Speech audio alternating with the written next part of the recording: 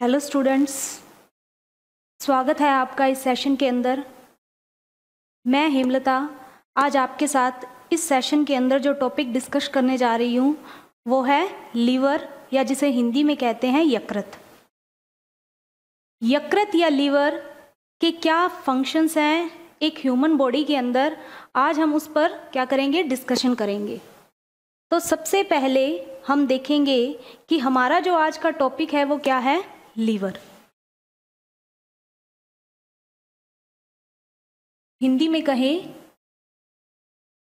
यकृत। Liver and its functions in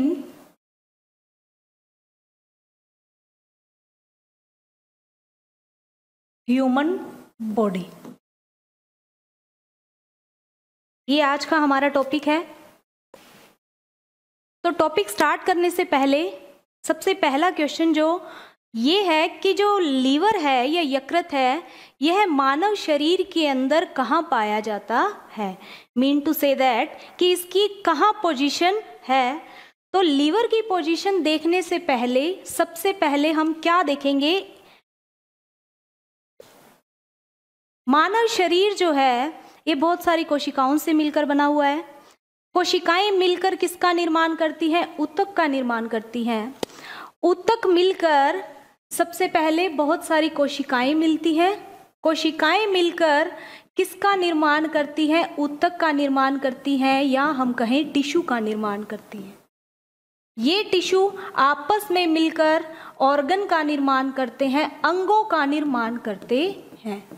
और काफ़ी सारे अंग मिलकर किसका निर्माण करते हैं? तो हम कहें ऑर्गन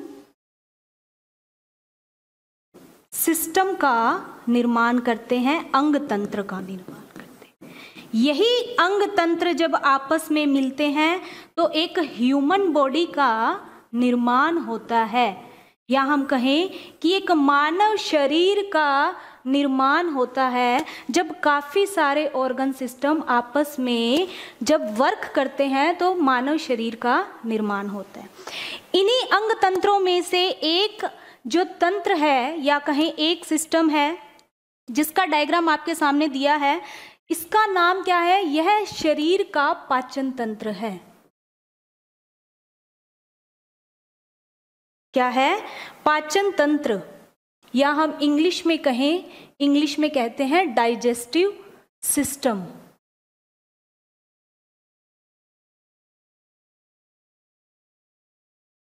अब बात आती है कि मैडम टॉपिक हमारा लीवर है, लेकिन आप हमें डायग्राम किसका दिखा रहे हो? डाइजेस्टिव सिस्टम का। तो ये किस लिए दिखाया जा रहा है कि जो लीवर है, यह हम कहें इनडायरेक्टली कहाँ से रिलेट करता है, किसके साथ रिलेट करता है तो हमारे शरीर के पाचन तंत्र के साथ रिलेट करता है। सबसे पहले थोड़ा सा ब्रीफ के अंदर हम डाइजेस्टिव सिस्टम के बारे में देखते हैं। डाइजेस्टिव सिस्टम के अंदर क्या क्या पार्ट्स हैं? तो सबसे पहले ये है हमारा माउथ माउथ के बाद ये जो ग्रीन कलर की आपको दिखाई दे रही हैं, ये क्या है? स्लाइवरी ग्लैंड्स या जिनको हिंदी में बोलते हैं लार ग्रंथियाँ। स्लाइवरी ग्लैंड्स यहाँ पर ये जो एक लंबी पाइप नुमा संरचना है, ये क्या कहलाती है? इसोफेगस कहलाती है, या हम इसको ये भी कह सकते हैं फ़ूड पाइप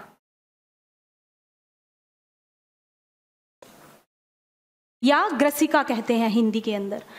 ये ग्रसिका आगे जाकर जिस स्ट्रक्चर के साथ जुड़ती है, इसको बोलते हैं स्टमक या हिंदी में कहेंगे अमाशय।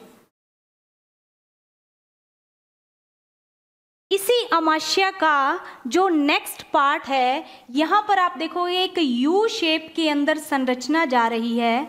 यह संरचना क्या है? यह हमारे शरीर की क्या है? छोटी आंत कहलाती है, या हम कहें इंग्लिश में स्मॉल इंटेस्टाइन कहलाती है। स्मॉल इंटेस्टाइन आगे जाकर लार्ज इंटेस्टाइन से जुड़ेगी, और लार्ज इंटेस्टाइन जो है, ये कहाँ आती है? एनस के द्वारा, या मल द्वार के जाकर खत्म। ये था हमारा ब्रीफ के अंदर डाइजेस्टिव सिस्टम। तो देखें, सबसे पहले खाना। अच्छा एक जो मेन पार्ट है, यहाँ पे आप देखोगे, एक अम्ब्रेला लाइक स्ट्रक्चर है। यही क्या है? हमारे शरीर का यकृत कहलाता है या लीवर है। ठीक है? तो लीवर जो है, यह हम कह दें इनडायरेक्टली या डायरेक्टली कुछ भी कहें, ये हमारे पाचन तंत्र से क्या करता है? रिलेट करता है। अब एक बात आती है कि मैडम, क्या यकृत हमारे भोजन को पचाने में सहायता करता है? तो यस ये सहायता करता है, लेकिन इनडायरेक्टली वे के अंदर करता है। डायरेक्टली ये कहें कि खाना इसके अंदर नहीं जाता डाइजेस्ट होने के लिए। क्योंकि खाना माउथ से कहा गया? यहाँ विंड सॉरी फ़ूड पाइप के अंदर फ़ूड पाइप से आया, स्टमक के अंदर। स्टमक से यह जाएगा स्मॉल इंटेस्टाइन में। स्मॉल इंटेस्टाइन से लार्ज इंटेस्टाइन में। और जो अपचित भोजन है, यह एनस के द्वारा शरीर से बाहर एक्सक्रेट कर दिया जाता है। अब यहाँ पर दो संरचनाएँ आपको अलग दिख रही हैं। एक तो यहाँ पर लीवर और सेकंड ये एक पत्ती नुमा संरचना दिख रही है। ये क्या है? पेनक्रियास। हिंदी में कहते हैं अग्नाशय। तो ये दोनों जो संरचनाएँ हैं, ये खाने को डाइजेस्ट करने में या पचाने में सहायता करती हैं बट डायरेक्टली नहीं। या हम कहें कि भोजन इन दोनों के अंदर नहीं जाता, बल्कि इनसे निकलने वाले जो एंजाइम्स या जूस होते हैं या रस होते हैं, वो खाने को डाइजेस्ट करने के अंदर क्या करते हैं? मदद करते हैं। तो लीवर भी क्या करता है? लीवर के अंदर जो चीज़ें या जो जूस बनते हैं एंजाइम्स निकलते हैं, ये हमारे भोजन को पचाने में सहायता करते हैं। इसीलिए कहते हैं कि लीवर जो है इनडायरेक्टली अपना रोल प्ले करता है किस खाने को पचाने के अंदर। खाना कभी भी लीवर के अंदर नहीं जाता है। ठीक है? तो लीवर की पोजीशन पता चल गई हमें, लीवर कहाँ है? तो लीवर हमारे डाइजेस्टिव सिस्टम के साथ जुड़ा हुआ है। चलो नेक्स्ट पेज पे हम देखेंगे। अच्छा एक चीज़ और। यहाँ जो ये यू शेप की जो संरचना है, ये स्मॉल इंटेस्टाइन के तीन पार्ट होते हैं। यहाँ पे मैं लिख देती हूँ, छोटी आंत स्मॉल इंटेस्टाइन के तीन पार्ट होते हैं। सबसे पहला पार्ट होता है ड्यूडिनम। फिर इसके बाद आता है जेजुनम। फिर आता है इलियम। ठीक है? D, J, I. तो ये तीन पार्ट जो हैं, ये किसके हैं? हमारे छोटी आंत के पार्ट हैं। इन छो तीनों पार्ट के अंदर हम देखेंगे कि जो लीवर है ना, लीवर, ये कहाँ पर जुड़ा हुआ है?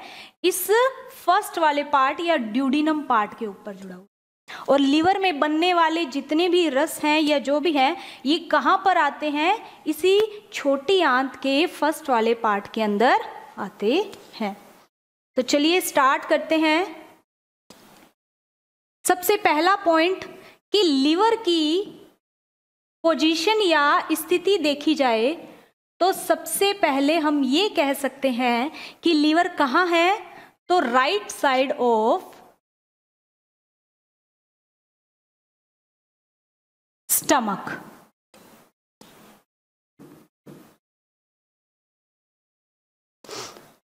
second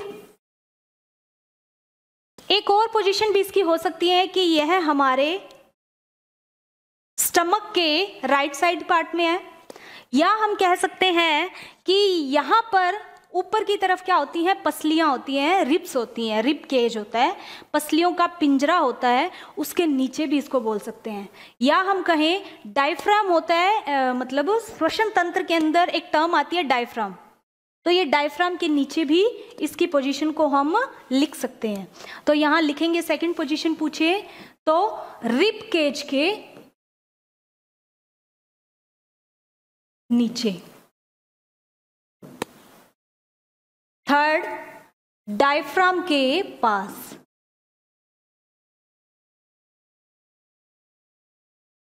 तो ये तीन इसकी क्या हो गई? पोजीशंस होगी सेकंड हम देखें कि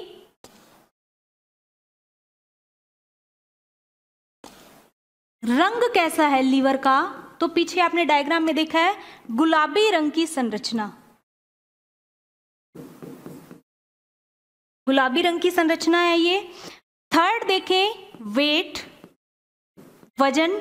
तो यकृत जो है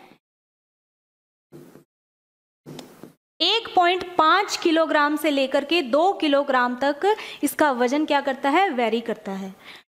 हम ये भी कह सकते हैं कि यह हमारे शरीर के अंदर या ह्यूमन बॉडी के अंदर हैवीएस्ट ऑर्गन होता है। तो लिख सकते हैं हम।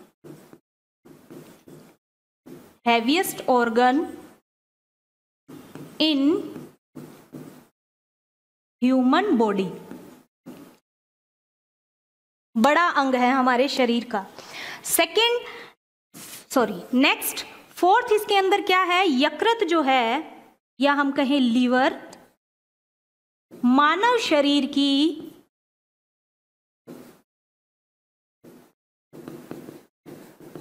सबसे बड़ी बहिस्त्रावी ग्रंथि है।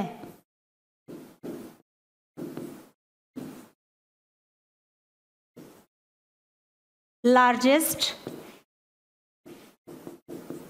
exocrine gland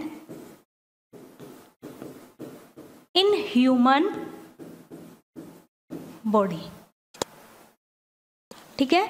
तो क्या पहला हमने पढ़ा, ये इसकी पोजीशन हो गई। सेकंड गुलाबी रंग की संरचना है। थर्ड इज़ इसका वज़न क्या है? तो ये हमारे शरीर का सबसे हैवीएस्ट ऑर्गन है। एंड नेक्स्ट इज़ लीवर जो है, मानव शरीर की सबसे बड़ी बहिस्त्रावी ग्रंथि है। या हम कहें largest exocrine gland in human body अब यहाँ पे एक शब्द आई है या एक टर्म आया है। क्या टर्म है वो? टर्म है यहाँ पे ग्लैंड या ग्रंथि। तो ये ग्रंथि शब्द क्या है? देखें।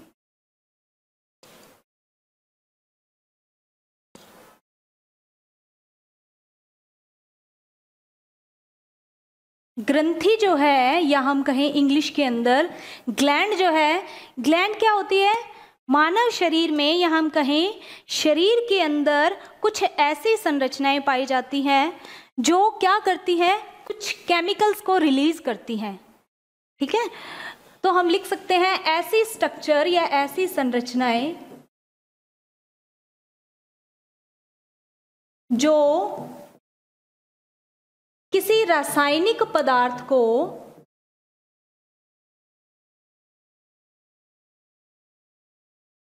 को रिलीज़ करती है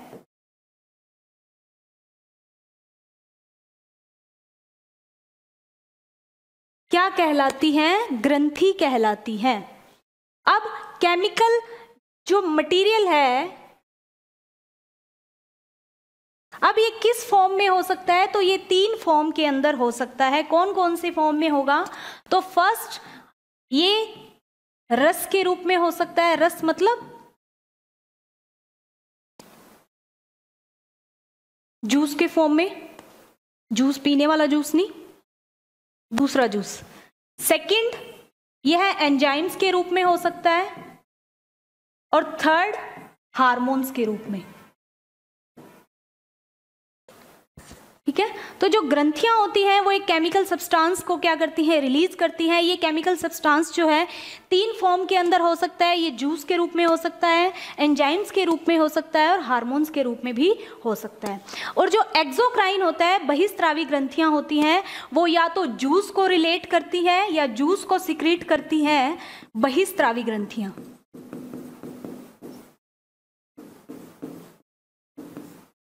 या तो एंजाइम्स को रिलीज़ करेंगी या जूस को रिलीज़ करती हैं, और जबकि जो हार्मोन्स होते हैं, ये किनके द्वारा स्त्रावित किए जाते हैं? तो अंतस्त्रावी ग्रंथियाँ। अंतस्त्रावी ग्रंथियों के द्वारा या एंडोक्राइन ग्लैंड्स के द्वारा क्या किए जाते हैं? रिलीज़ किए जाते हैं। तो यकृत जो है हमारे शरीर की सबसे बड़ी बहिस्त्रावी ग्रंथि है। कहने का मतलब उसमें या तो जूस निकलता है या फिर क्या निकलते हैं? एंजाइम्स निकलते हैं। यही जूस और एंजाइम्स हमारे खाने को डाइजेस्ट करने में मदद करते हैं। चलो नेक्स्ट ये बात कर ली हमने ग्रंथि की। फोर्थ नंबर पे हम क्या देखते हैं? लीवर के बारे में। तो लीवर जो है क्या क्या फ़ंक्शंस है इसके? सबसे पहले लीवर क्या करता है? एक जूस को सिक्रेट करता है। इस जूस को क्या कहते हैं? बाइल जूस या बोलते हैं पित्त रस। सॉरी इससे पहले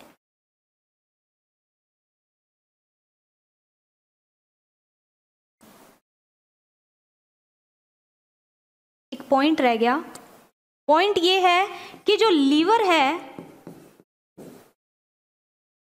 लीवर शब्द तो हम आम भाषा के अंदर बोलते हैं, लीवर लीवर खराब हो गया, यकृत खराब हो गया। लेकिन इसके लिए जो मेडिकल टर्म यूज़ की जाती है, या हम बोले साइंटिफिक टर्म है, वो क्या होती है? हिपेटिका। हिपेटिका या एक और टर्म आती है जिसको बोलते हैं हिपेटो। और यकृत की, या हम कहें लीवर की स्टडी को, क्या बोला जाता है? हिपेटोलॉजी। दो शब्द हैं इसके अंदर। आप देखोगे हिपेटो मींस लीवर की बात कर रहे हैं। लॉजी, स्टडी करना। तो यकृत की स्टडी करना क्या कहलाता है? हिपेटोलॉजी कहलाता है। नेक्स्ट देखेंगे कि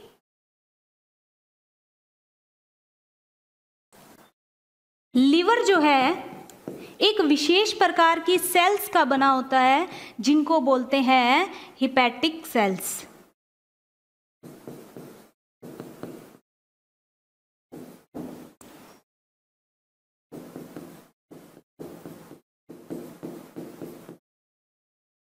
किसका बना हुआ है?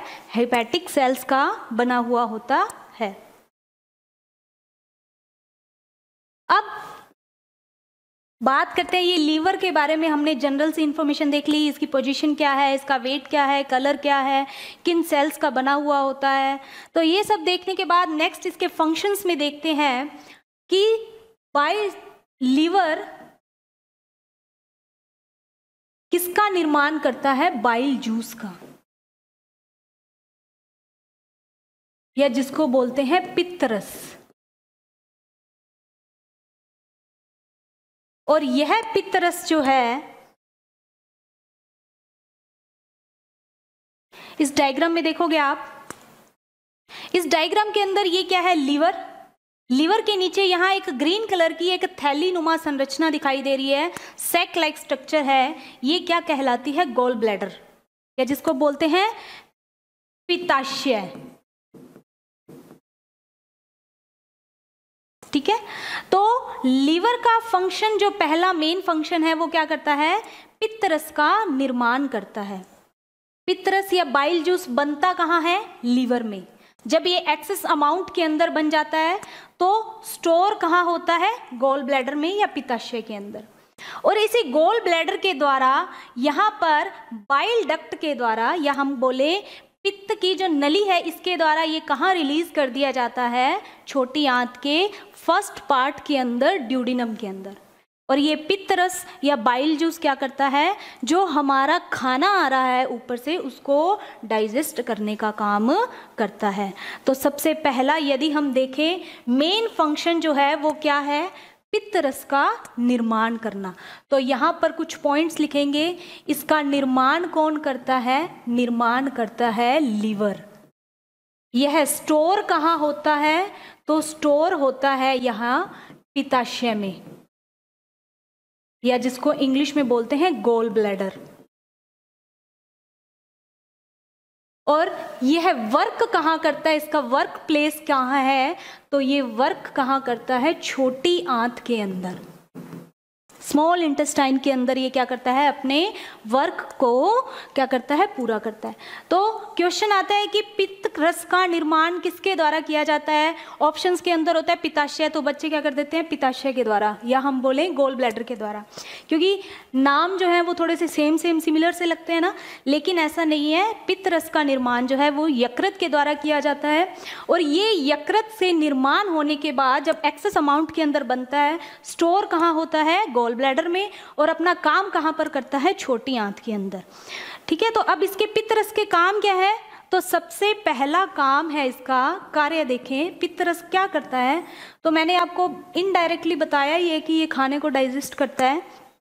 क्या मेन फ़ंक्शन है? तो उसको बोलते हैं वसा का पाइसीकरण करना।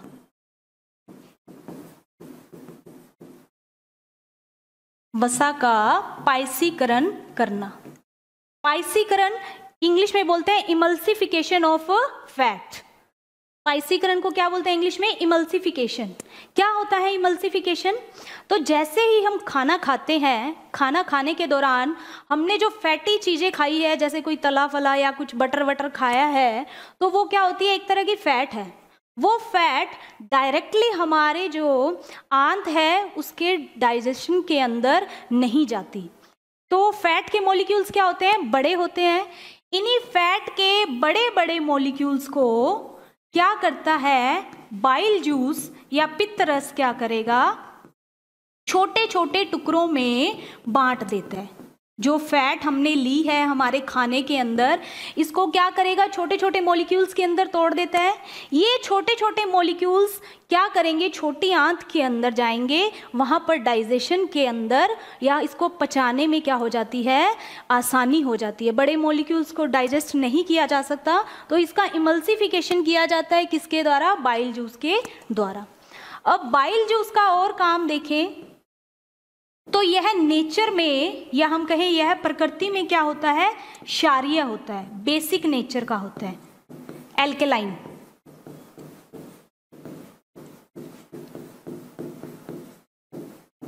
यह भोजन को क्या करता है?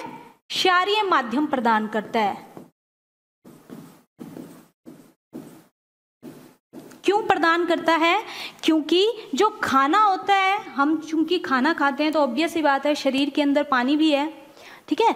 तो पानी के अंदर जो क्षारीय माध्यम होता है, या हम कहें एल्केलाइन जो चीज़ें होती हैं, वो जल्दी डिजोल्व हो जाती हैं। इसीलिए ये हमारे जो खाना ऊपर से आ रहा है अमाशय से आ रहा है, उसको क्या करेगा? एल्केलाइन मीडियम देता है, जिससे वो जल्दी पानी के अंदर या दो मिक्स होके डाइजेस्ट हो सके। अब बाइल जूस की यदि नेचर की बात करें तो यह शारिया होता है। इसकी पीएच देखें, सात से लेके आठ के बीच में वेरी करती है, ठीक है? एल्केलाइन है तो कहीं पे आपको सात पॉइंट सात से लेकर आठ पॉइंट सात मिल सकता है। तो ये है कि सात से लेके आठ के बीच में ये क्या करती है? वेरी करती है। तो रंग कैसा होता है? तो हल्का पीला रंग, या पीला हरा रंग भी आता है मिक्स सा।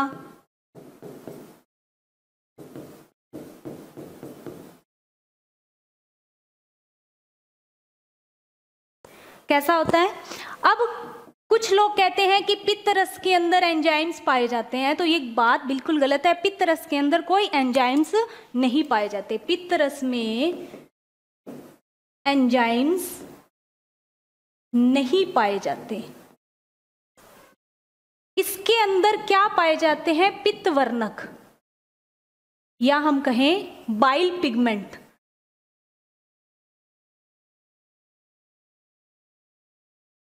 कौन कौन से होते हैं? दो बाइल पिगमेंट पाए जाते हैं, जो इसको हल्का पीला हरा रंग प्रदान करते हैं। फ़र्स्ट बिलीरुबिन और सेकंड बिलीवर्डिन हिंदी इंग्लिश के अंदर दोनों में इनके नाम यही है बिलीरुबिन और बिलीवर्डिन बिलीरुबिन जो है, यह पीला रंग प्रदान करता है और यह क्या करता है? हरा रंग प्रदान करता है। नेक्स्ट इनके अंदर क्या पाया जाता है? कुछ लवण पाए जाते हैं सॉल्ट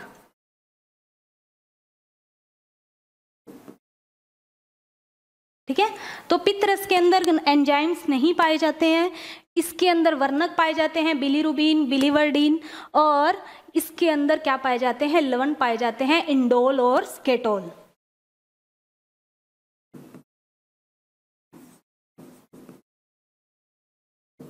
ये दोनों जो लवण है सॉल्ट है, ये क्या करते हैं? हमारे स्टूल को स्टूल में दुर्गंध का कारण यही है। मल में या स्टूल में जो स्मेल आती है, वो इन्हीं के कारण आती है। तो ये बात कर ली हमने पित्तरस की। सबसे पहला मेन फ़ंक्शन जो हमने लीवर का देखा क्या है कि यह हमारे शरीर में जो मेनली पित्तरस का निर्माण करता है। पित्तरस एक ऐसा रस है जो लगातार बनता रहता है। जब ये एक्सेस अमाउंट में बनता है तो गोल ब्लैडर के अंदर आ जाता है। गोल ब्लैडर से यह कहाँ पर आता है? छोटी आंत के अंदर आता है। छोटी आंत के अंदर ये वहाँ पर अपना वर्क करना स्टार्ट कर देता है, खाने को डाइजेस्ट करता है, उसको क्षारीय माध्यम प्रदान करता है। छोटी आंत के जितने भी एंजाइम्स है, उसको क्या करता है, ये एक्टिव फॉर्म के अंदर लाता है। ये हो गई पित्रस की बात। नेक्स्ट फ़ंक्शन हम देखेंगे पाँच नंबर पे। लीवर का क्या फ़ंक्शन है? तो लीवर जो है प्रोटीन्स का निर्माण करता है। हमारे शरीर के अंदर कुछ विशेष प्रोटीन्स पाए जाते हैं प्रोटीन्स का निर्माण करता है। कौन से विशेष प्रोटीन है? तो नाम सुना होगा फाइब्रिनोजन फाइब्रिनोजन और प्रोथोम्बिन हिंदी, इंग्लिश दोनों में यही नाम है फाइब्रिनोजन और प्रोथोम्बिन ये जो विशेष प्रकार के प्रोटीन है, इनका क्या काम है? तो ये है ब्लड क्लोट करने के लिए. शरीर के अंदर ब्लड क्लोटिंग प्रोटीन है ये.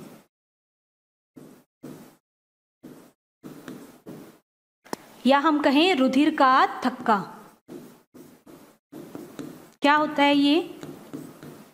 आपने देखा होगा, कभी हमारे शरीर पर चोट लगती है किसी विभाग में तो चोट लगते ही तुरंत वहाँ से क्या निकलता है? ब्लड निकलता है, ब्लड का फ्लो होता है। लेकिन थोड़ी देर बाद ही उसके ऊपर क्या होगा? एक पपड़ी सी बन जाती है, पतली पपड़ी बनती है। उसी को हम क्या बोलते हैं? साइंस की लैंग्वेज में ब्लड क्लोट होना। अगर भगवान हमारे अंदर ये दोनों चीज़ें ना बनाए या ना डालता तो ब्लड तो निकलता जाता, लॉस होता तो उसके कारण फिर क्या होता लास्ट में व्यक्ति का सारा ब्लड बाहर आ जाता। लेकिन ये दो ऐसे प्रोटीन हैं जो शरीर की जो ब्लड सेल्स हैं, उनके बीच के अंदर एक जाल बना देते हैं, जिसके कारण उस चोट वाले स्थान पर एक जाल बन जाता है, या एक पतली लेयर बन जाती है, जो हमारे ब्लड को क्या करती है, वहीं पर रोक देती है, या कहीं बाहर निकलने नहीं देती। इसी को बोलते हैं ब्लड क्लोटिंग होना। या रुधिर का थक्का बनना। अब बात आती है कि मैडम, अगर हमारे शरीर के अंदर या हम कहें हमारे ब्लड के अंदर ये दो प्रोटीन है तो हमारे शरीर के अंदर भी ब्लड का क्लोट हो जाना चाहिए, क्योंकि ये क्लोटिंग कर रहे हैं और इनका निर्माण कौन कर रहा है? यकृत कर रहा है। तो अगर ये शरीर के ब्लड में ये दो प्रोटीन पाए जा रहे हैं तो हमारे शरीर के अंदर जितना भी ब्लड फ्लो हो रहा है, उसका क्या होना चाहिए था? क्लोट हो जाना चाहिए था। तो उसके लिए भी भगवान ने क्या किया? एक सिस्टम फिट किया है। क्या है वो सिस्टम तो एक एंटी क्लोटिंग प्रोटीन पाया जाता है शरीर के अंदर, जिसका नाम है हिपेरिन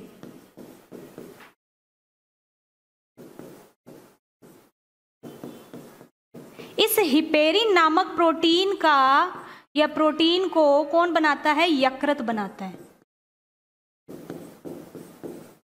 और यह क्या है? एंटी क्लोटिंग प्रोटीन है। मतलब ये हमारे शरीर के अंदर जितना भी फ्लड, ब्लड फ्लो हो रहा है, उसको जमने नहीं देता, थक्का नहीं बनने देता क्या है ये? हिपेरिन नाम का एक प्रोटीन जो है, शरीर के अंदर या ब्लड में पाया जाता है और इस हिपेरिन का निर्माण भी किसके द्वारा किया जाता है? यकृत के द्वारा किया जाता है।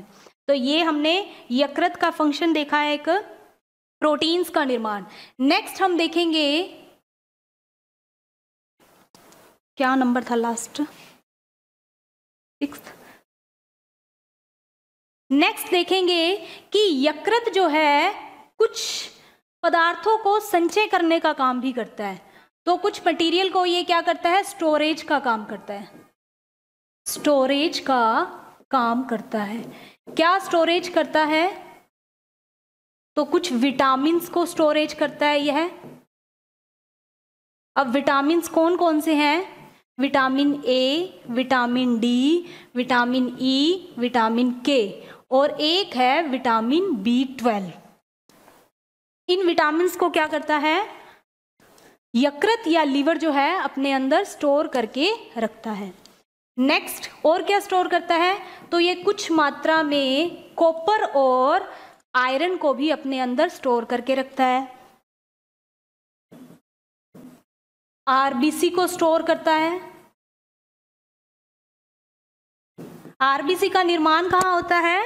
तो स्प्लीन के अंदर, प्लीहा के अंदर या फिर बोन मैरो जो हमारे शरीर की बोन मैरो है, वहाँ पर होता है। लेकिन कुछ आरबीसी को ये क्या करता है? लीवर अपने अंदर भी स्टोर करता है। कुछ जो आरबीसी है, उसका एक निश्चित टाइम पीरियड होता है 120 दिन का। 120 दिन के बाद ये कुछ मात्रा के अंदर लीवर में जाती है, कुछ में प्लीहा में जाती है।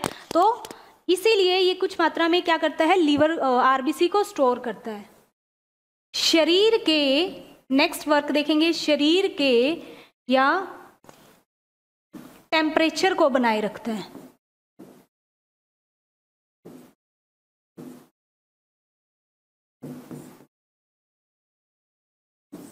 नेक्स्ट फ़ंक्शन है, ये भी इंपॉर्टेंट है नाइन्थ नंबर पे जो मैं बताऊँगी। तो जब हम खाना खाते हैं, खाना खाने के दौरान हम हमारे भोजन के अंदर काफ़ी मात्रा में क्या लेते हैं? कार्बोहाइड्रेट लेते हैं। कार्बोहाइड्रेट जो है ये हमारे शरीर में गया।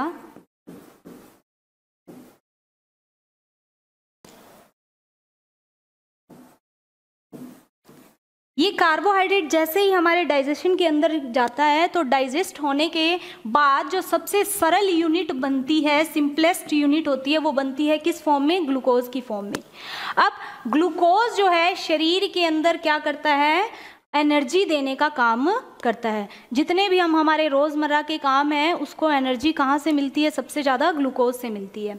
अब जितना खाना खाया, कार्बोहाइड्रेट खाया, हमने आलू, चावल वगैरह, ये सब रोटी खाई, इनमें क्या होता है? कार्बोहाइड्रेट होता है। कार्बोहाइड्रेट डाइजेस्ट हुआ, यहाँ पे लिख देते हैं, डाइजेशन हुआ इसका। डाइजेशन में सबसे सिंपलेस्ट यूनिट क्या बनी? तो ग्लूकोज बनी। अब ग्लूकोज जितना हमें चाहिए था, हमारी बॉडी को चाहिए था, उतना तो उसने यूज़ ले लिया। अब कुछ ग्लूकोज ऐसा है जो यूज़ में नहीं आया, लेकिन वो शरीर के अंदर अभी भी पड़ा है।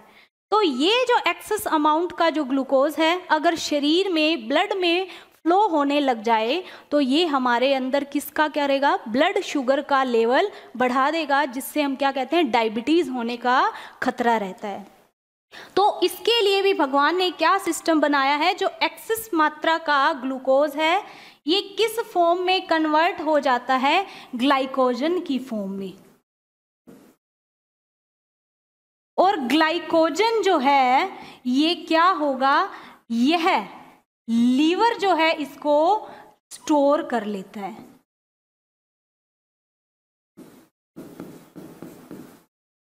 ठीक है? तो लीवर का और क्या फ़ंक्शन है? ये भी फ़ंक्शन इसका इंपॉर्टेंट है कि जो शरीर के अंदर अधिक मात्रा का या जो एक्स्ट्रा ग्लूकोज पड़ा है, उसको लीवर क्या करेगा? ग्लाइकोजन की फॉर्म में चेंज कर देगा और इस ग्लाइकोजन को अपने अंदर कहाँ कर लेता है? स्टोर कर लेता है। अब ये ग्लाइकोजन स्टोर किया तो काम कब आया? तो आप देखते हो जब फास्ट करते हैं हम फास्टिंग होती है या फिर कोई भूख हड़ताल वगैरह होती है तो उसके दौरान क्या होता है, खाना तो हम इतना नहीं खाते प्रॉपरली तो शरीर के अंदर एनर्जी डाउन होने लगती है। और एनर्जी की रिक्वायरमेंट पूरी कहाँ से होती है? ग्लूकोज से। अब ये ग्लूकोज तो हम पूरा मात्रा में ले नहीं रहे हैं। तो ये जो स्टोर हुआ हुआ ग्लाइकोजन है, ये किसकी फॉर्म में जाना स्टार्ट हो जाता है? टूटना ग्लूकोज की फॉर्म में। और यही ग्लूकोज जो है, ये क्या करता है? हमें उस टाइम पे एनर्जी प्रोवाइड करने का काम करता है। तो यह ग्लाइकोजन क्या कब काम आता है? इमरजेंसी के दौरान काम आता है। कब? जब ये इसको यहाँ कन्वर्ट कर देगा और ये हमें एनर्जी देना स्टार्ट कर देता है। तो इस ग्लाइकोजन को एक और टर्म भी दी जाती है। वो टर्म क्या है? यहाँ पे हम लिखेंगे ग्लाइकोजन जो है ह्यूमन बॉडी का या मानव शरीर का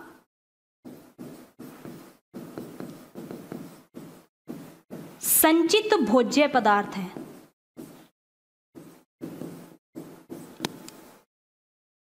ठीक है? मानव शरीर का कह लो या एनिमल सेल का कह दो क्वेश्चन आता है कि मानव शरीर में या जंतु कोशिका के अंदर, यहाँ पे आप जंतु कोशिका वर्ड लें तो वो ज़्यादा बेटर रहेगा एनिमल सेल कि जंतु कोशिका में संचित भोज्य पदार्थ कौन सा होता है? तो वो किस फॉर्म में होता है? ग्लाइकोजन की फॉर्म में होता है। और इसी के साथ एक क्वेश्चन और देके पूछा जाता है कि पादप कोशिका में प्लांट सेल के अंदर स्टोरेज फ़ूड मटेरियल क्या है? संचित भोज्य पदार्थ क्या है? तो उसे हम कहते हैं स्टार्च। हिंदी में बोलेंगे मंड। ठीक है? तो यदि जंतु कोशिका में पूछा जाए तो आप नाम लोगे किसका? ग्लाइकोजन का। और जब प्लांट सेल की बात की जाए तो स्टार्च का।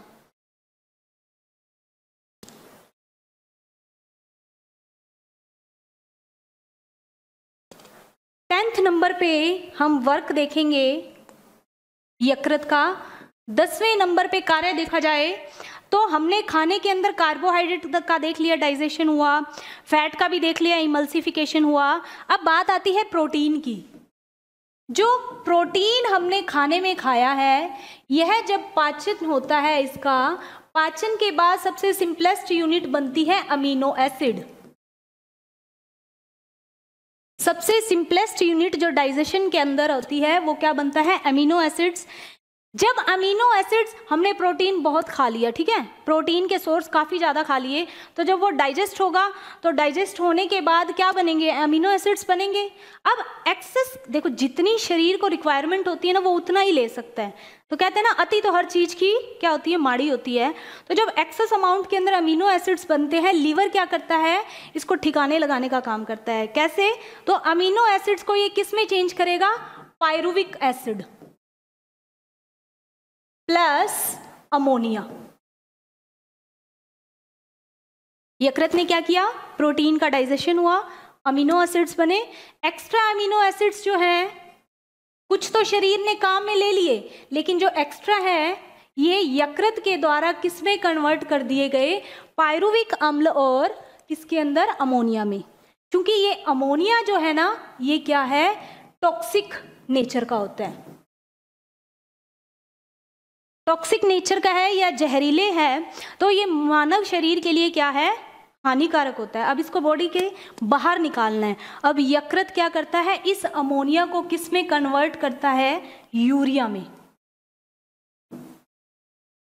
किसके द्वारा एक विशेष चक्र चलता है, जिसको बोलते हैं ऑर्निथीन चक्र?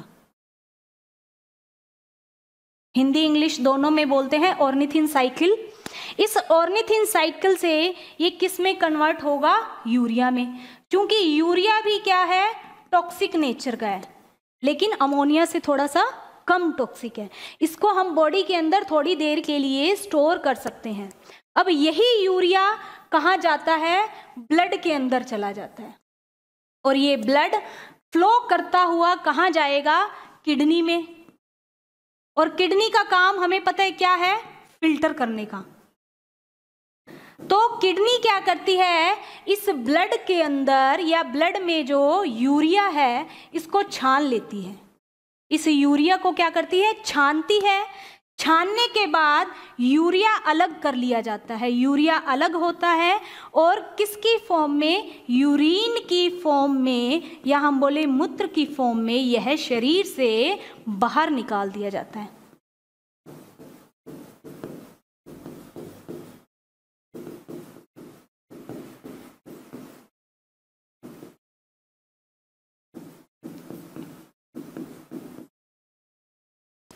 क्या कर दिया जाता है? शरीर से बाहर निकाल दिया जाता है। पॉइंट क्या था? प्रोटीन जो खाने के अंदर खाया, पाचन हुआ, किसकी फॉर्म में आया? अमीनो एसिड्स की। अमीनो एसिड्स जितने चाहिए थे, शरीर ने ले लिए। एक्स्ट्रा अमीनो एसिड्स क्या करेगा यकृत? इसको पायरुविक अम्ल और अमोनिया में चेंज करेगा। क्योंकि अमोनिया टॉक्सिक है, इसको यूरिया में कन्वर्ट करेगा। यूरिया कहाँ जाएगा? ब्लड के अंदर मिक्स होगा। इस ब्लड के अंदर यूरिया है ये भी टॉक्सिक है, इसको बाहर निकालना है। तो ये काम कहाँ आएगा? फ़िल्टर के फ़िल्टर होने के लिए किडनी के पास। किडनी इसको फ़िल्टर करेगी। ब्लड साफ़ ब्लड को तो शरीर में भेज देगी और इस यूरिया को यूरिन की फॉर्म में या मूत्र की फॉर्म में शरीर से बाहर निकाल दिया जाता है। तो आज जो है, हमने क्या देखे हैं? यकृत के कार्य देख लिए। ठीक है? यकृत के जितने भी इम्पोर्टेंट इम्पोर्टेंट कार्य थे, वो आज हमने डिस्कस कर लिए हैं। एक बार थोड़ा सा हम इसको क्या कर लेते हैं रिवाइज कर लेते हैं। ठीक है? टॉपिक था हमारा आज का लीवर या यकृत। सबसे पहले हमने देखा कि यकृत जो है, इसकी पोजीशन कहाँ है? पोजीशन हमें पता है right side of of stomach कह सकते हैं रिब केज के नीचे या डायफ्राम के पास इसको कह सकते हैं। रंग इसका गुलाबी रंग होता है वेट इसका 1.5 से 2 किलोग्राम। हैवीएस्ट ऑर्गन है यह हमारी बॉडी के अंदर। लीवर मानव शरीर की सबसे बड़ी बहिस्त्रावी ग्रंथि है। अब ग्रंथि क्या होती है? तो ग्रंथि हम देखेंगे। ऐसी संरचना या ऐसी स्ट्रक्चर जो हमारे शरीर के अंदर क्या करती है, कुछ केमिकल को रिलीज़ करती है केमिकल सब्सटेंस को रिलीज़ करेगी। किसकी फॉर्म में? या तो वो रस की फॉर्म में होंगे जूस की फॉर्म में, या एंजाइम्स या हार्मोन्स क्योंकि जो एक्सोक्राइन ग्लैंड होती है, ये या तो जूस को निकालती है, या एंजाइम्स को निकालती हैं। हार्मोन्स जो रिलीज़ करती हैं, वो कौन सी होती है? अंतस्त्रावी ग्रंथियाँ, ये अलग से ग्रंथियाँ होती हैं। लीवर जो है, इसका साइंटिफिक या हम कहें मेडिकल टर्म जो है, ये इसकी क्या है? मेडिकल टर्म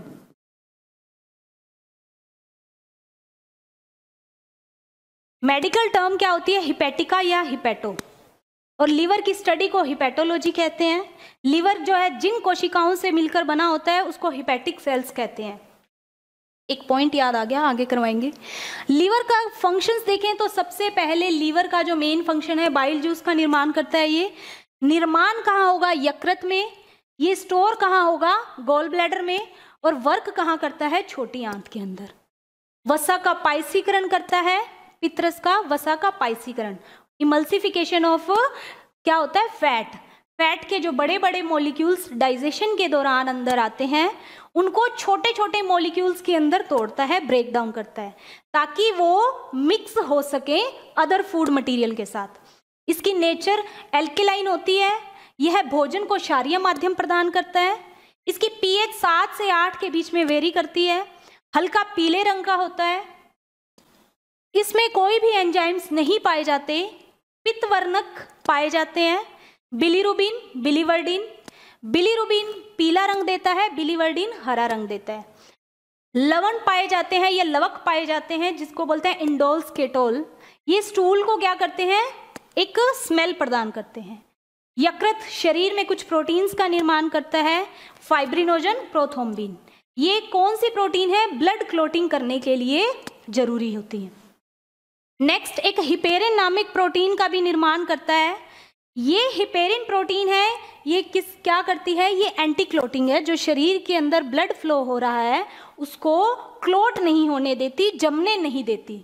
स्टोरेज का काम करता है लीवर कुछ विटामिन को स्टोरेज करता है, कुछ मिनरल्स को कॉपर आयरन को स्टोरेज करता है आरबीसी को स्टोरेज करता है, शरीर के टेम्परेचर को बनाए रखता है कार्बोहाइड्रेट का डाइजेशन होता है तो ग्लूकोज बनता है एक्सेस ग्लूकोज को ग्लाइकोजन में चेंज करेगा इस ग्लाइकोजन को अपने अंदर स्टोर करेगा इमरजेंसी के लिए। कभी इमरजेंसी में एनर्जी की ज़रूरत हो तो ग्लाइकोजन ग्लूकोज में चेंज होगा, ग्लूकोज से हमें एनर्जी मिलेगी। इसी तरह प्लांट सेल के अंदर जो है, भोज्य पदार्थ जो स्टोर होता है, वो मंड के रूप में या स्टार्च के रूप में होता है। नेक्स्ट देखते हैं जो खाने में हमने प्रोटीन खाया है, उस प्रोटीन को जब डाइजेशन होता है तो सिंपलेस्ट यूनिट बनती है एमिनो एसिड्स। कुछ शरीर में यूज़ कर लिए जाते हैं, शरीर की मरम्मत के लिए, ग्रोथ के लिए। कुछ जो एक्सेस में होते हैं या एक्स्ट्रा होते हैं, उनको लीवर के द्वारा पायरुविक एसिड या फिर अमोनिया के अंदर चेंज करते हैं। अमोनिया जो है, पायरुविक एसिड शरीर के अंदर अदर्स काम में चली जाती है।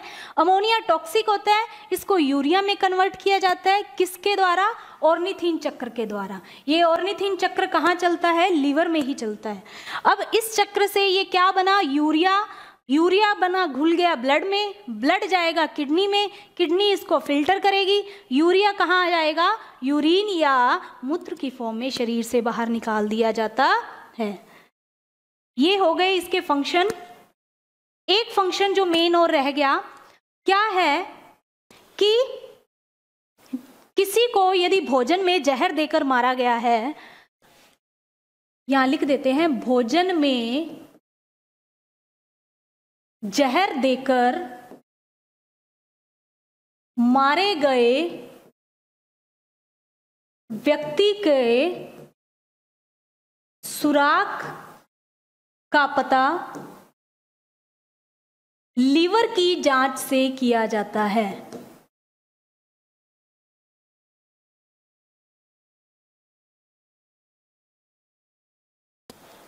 ठीक है?